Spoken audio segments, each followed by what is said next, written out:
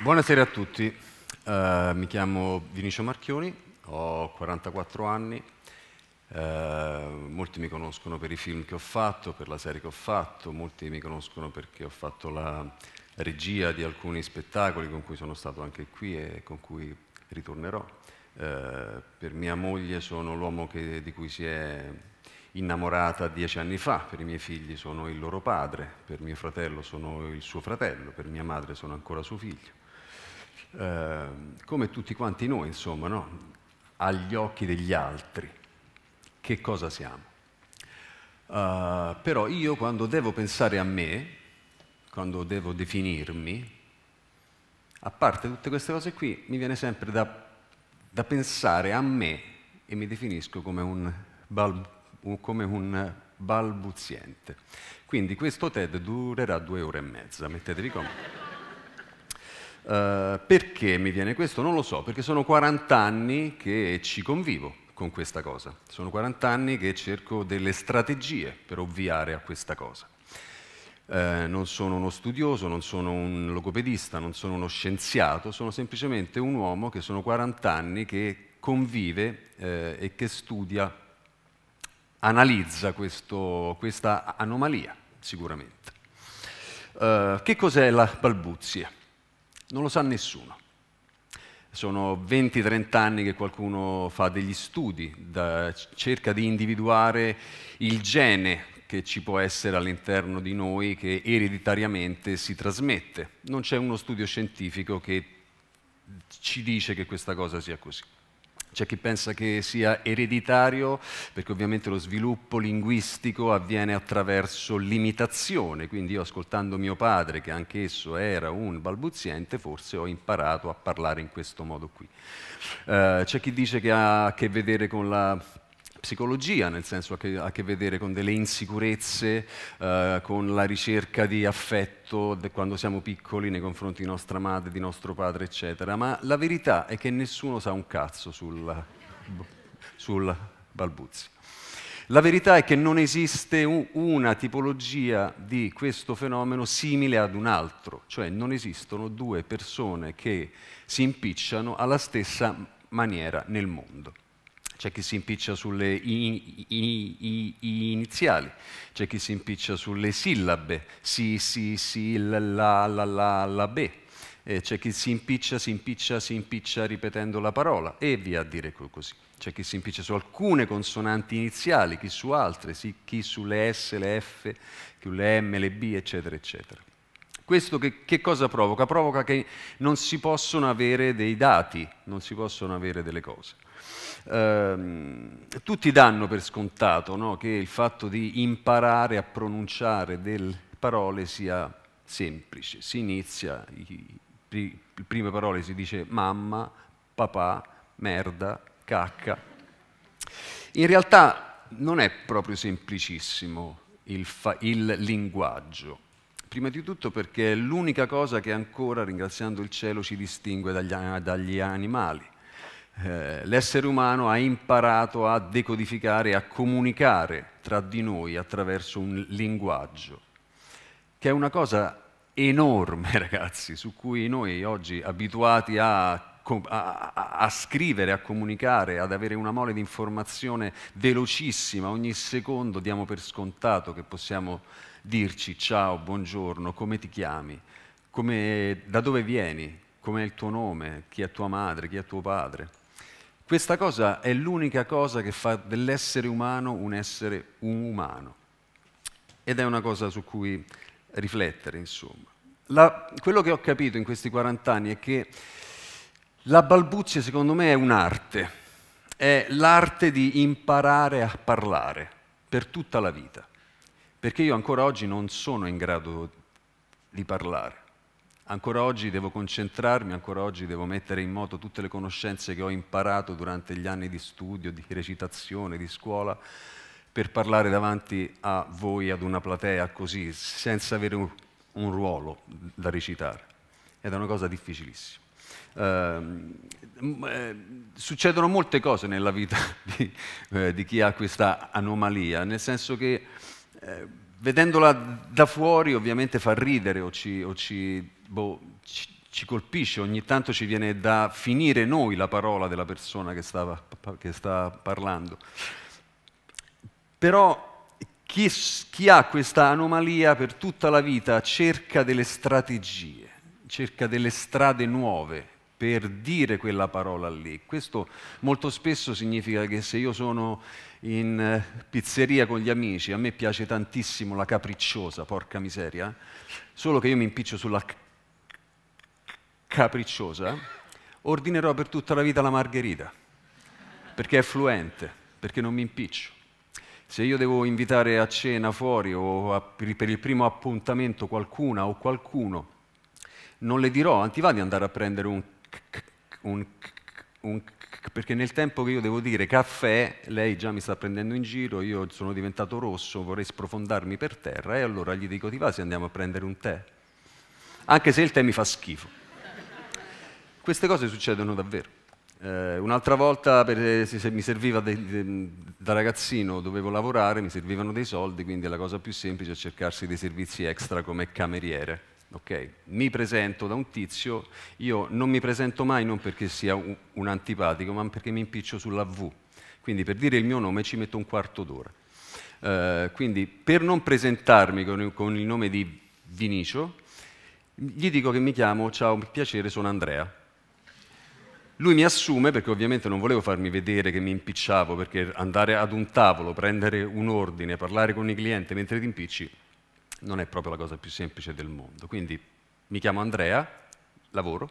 A un certo punto mia madre chiama, che non mi chiama mai nella vita, chiama perché era successa una cosa dentro casa, non lo so, chiama il proprietario, eh, risponde, mia madre cerca ovviamente Vinicio, il ristoratore ovviamente gli dice che non c'è nessun vinicio lì dentro, torno a casa e mia madre si incazza perché pensava che fossi andato a drogarmi da qualche parte e gli avessi detto un, un, una bugia. Queste sono tutte delle piccole cose che succedono e su cui magari nessuno eh, riflette su chi soffre di questa anomalia.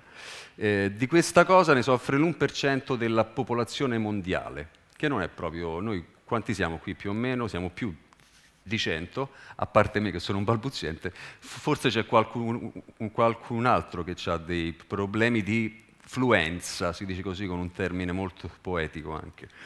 Um, che cosa succede da piccoli, per esempio? Succede che la prima cosa è che i genitori vanno in ansia da morire, perché ovviamente ti trovi davanti qualcuno che vedi che ha una grossa difficoltà e immediatamente pensi che tuo figlio è fragile, immediatamente pensi che tuo figlio sia debole, immediatamente pensi che tuo figlio verrà asfaltato da una società che va di corsa. Il problema è che quest'ansia il figlio l'assorbe tutta, semplicemente. Mentre invece il figlio, che ha 3, 4, 5, 6 anni, è un bambino e parla come parla, se ne frega che si impiccia, perché è un bambino, non, non, ha ancora la coscienza, la consapevolezza, il giudizio e l'analisi di individuare i segnali che gli arrivano dall'esterno. Crescendo i bambini sono violenti, sono cattivissimi, sono delle merde e quindi ovviamente si creano delle situazioni difficili a scuola, però io se Tornando indietro mi ricordo soltanto che io davo delle grandissime capocciate dietro sul muro, perché ovviamente ero un po' timido, mi vergognavo un po' di questa cosa, e mi mettevo all'ultimo banco dietro. Per gli spasmi che avevo mentre parlavo, davo le capocciate al muro. Però al di là di questa cosa non è che io stavo da solo morto ammazzato e non giocavo, ero triste, o ero il piccolo fiammiferaio. Andavo a fare dei compiti, giocavo a pallone per strada, non ero escluso, non ero eh, emarginato. Eh, dico questo perché negli ultimi due o tre anni sui social mi scrivono moltissime persone che hanno questa anomalia, eh, perché io, boh, non, non, so, sono diventato quello che ce l'ha fatta, sono diventato quello che è riuscito a fare l'attore, eh, non credo di essere riuscito a fare niente ancora, lo dico per chiarezza nei confronti di tutti, eh, però è importante comunicarle alcune cose alle persone che stanno a scuola, a quei ragazzi adolescenti che vengono presi in giro, che, eh, insomma per tutto il discorso degli haters e del, del, del bullismo che c'è in giro. Ho preso degli appunti perché non mi ricordavo niente ass- ass- assolutamente. E che secondo me bisogna lasciar fare un po' alla natura Molto spesso oh, mi, mi, sono informato, in, in 40 anni di vita ne ho visti tanti di discorsi motivazionali, di, di corsi, di specialisti. E la maggior parte di questi finisce sempre con la frase straordinaria che dice dalla balbuzie si guarisce, anche con un tono molto emotivo, no? empatico, che è quello che si vogliono sentire dire la madre il padre di tutti i balbuzienti del mondo. È una cazzata. Dal, da questa cosa non si guarisce, mai. Semplicemente perché questa cosa da un'anomalia del eh, modo di parlare si trasferisce in un'anomalia del modo, modo di pensare. Cioè io mi impiccio perché formulando la frase so che devo dire una parola con la B, per esempio, e quando arrivo a dire questa parola con la B mi impiccerò sicuramente perché già lo so. Il mio, il mio pensiero per sviluppare una strategia di comunicazione si è sviluppato velocissimamente, quindi so esattamente dove andrò ad impicciarmi e quando arriva quella parola mi impiccio, è un cane che si rincorre la coda in maniera incredibile. Um, il problema è, è molto complesso, nel senso che se io sto da solo dentro la camera mia, non mi impiccio. Io prima stavo giù nei camerini, eh, ripetevo queste cose che mi sono scritto ed ero fluente, figo. Arrivo qui e mi cago sotto. Quindi molte persone dicono il problema si ha quando si entra in relazione con un altro, no? Però la mia domanda che mi sono fatto in 40 anni è, ma se io sto con la mia compagna che mi ama, mi accoglie, sono tranquillo, perché mi impiccio? Se io sto con la mia compagnia di amici con cui esco da 15-20 anni, che mi conoscono, mi prendono un po' in giro, però fa parte del gioco, perché mi impiccio? Il problema forse non è la relazione con un altro, il problema è chi sono io. Chi sono io dietro a questa cosa che si chiama balbuzie. Perché questa cosa che si chiama così arriva, prima, prima, arriva molto prima di me. E le persone conoscono me attraverso questa cosa. E io sto dietro. E chi sono io dietro a questa cosa? Chi sono io se non balbettassi?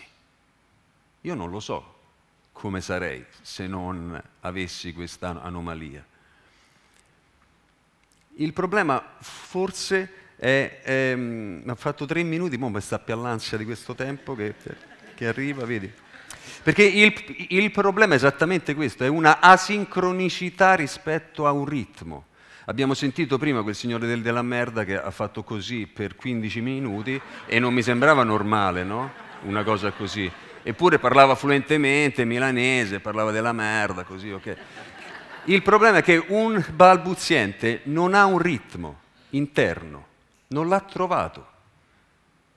E il problema forse è semplicemente togliere il problema di focalizzarsi l'ansia di chi parla in un pubblico avendo questo problema sin da piccolo, è spostare questo pensiero, ma è cercare di concentrarsi su un flusso, sul fiato, sulla respirazione, sulla conoscenza dell'apparato fonatorio, sul respiro perché siamo tutti diversi, non c'è una persona al mondo che ha lo stesso timbro di voce, non c'è una persona al mondo che ha lo stesso ritmo di parlata, non c'è una persona al mondo che ha la stessa cadenza di parlata di un altro.